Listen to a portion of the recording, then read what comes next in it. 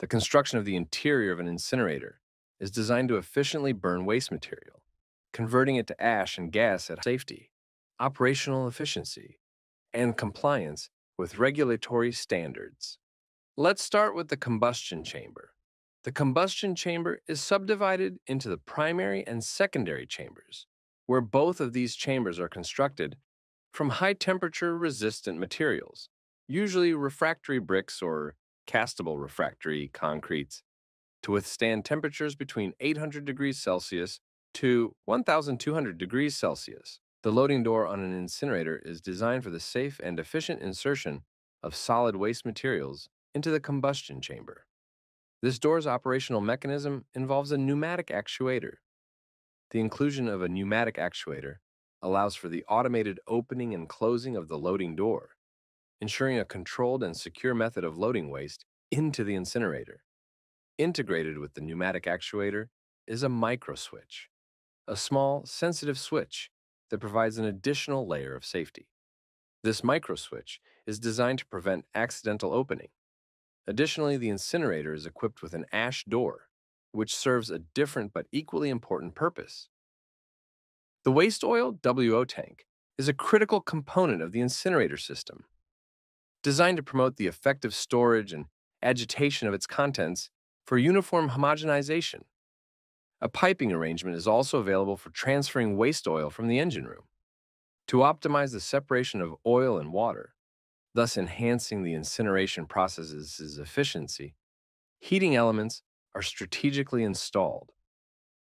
These elements, powered either by steam or an electric heating system, equipped with a temperature controller, precisely regulate the waste oil's temperature and increase the process of oil and water settling. Moreover, the tank is outfitted with level alarms for both low and high levels, ensuring the system operates within safe parameters. These alarms play a crucial role in preventing the tank from running dry or overfilling. Additionally, a drain valve is incorporated to remove any accumulated water, maintaining the oil quality and preventing emulsification that could hinder the incineration process. To further ensure the waste oil is in optimal condition for incineration, a sludge or mill pump, complete with valve arrangements, is installed. This pump's primary function is to initially mix the waste oil, preparing it for efficient and effective incineration. Some incinerators have agitators to properly mix the waste oil.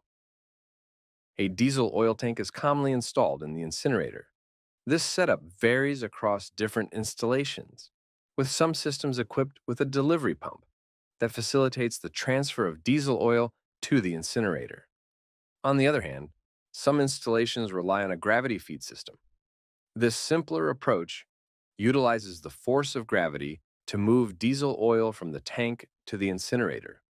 Starting the operation of an incinerator, especially when burning sludge, involves a series of precise steps to ensure the process is safe, efficient, and environmentally compliant. Begin by draining any accumulated water from the waste oil tank. This step is crucial to prevent water from interfering with the combustion process. Agitate or circulate the waste oil within the waste oil storage tank to achieve a uniform consistency, enhancing the combustion efficiency. Ensure that the inlet and outlet valves of the diesel oil tank leading to the incinerator are open. Open the valve from the waste oil tank to the incinerator. Remove any ashes and residues from previous combustions to prevent obstructions and ensure a clean combustion environment. The incinerator is equipped with a burner arrangement with a supply fan to supply air, essential for maintaining an optimal combustion environment. A pilot burner is utilized for initial ignition, ensuring a controlled start to the combustion process. Once all pre-checks are carried out, select the appropriate program on the control panel, setting it to sludge burning mode. This configures the incinerator for the specific requirements of burning sludge. Upon starting, the flue gas fan activates automatically, creating a vacuum pressure within the incinerator and cooling the brickwork to prevent overheating. The primary burner undergoes pre purging to clear the combustion chamber of any gases.